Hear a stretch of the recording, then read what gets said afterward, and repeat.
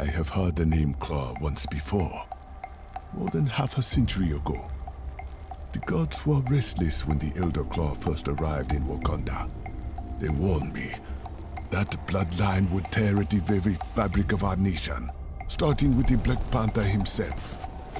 But Wakanda remained unconquered. The name Klaue was forgotten to history.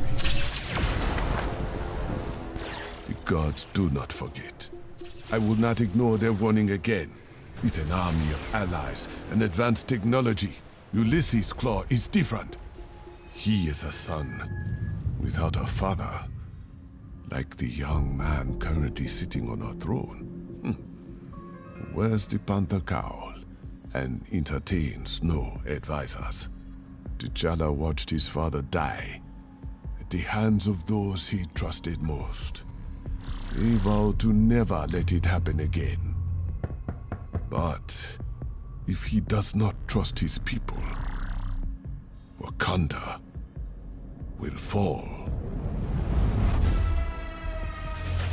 Uh, Klaue promised to finish what his father started. The gods predict only one of them will succeed.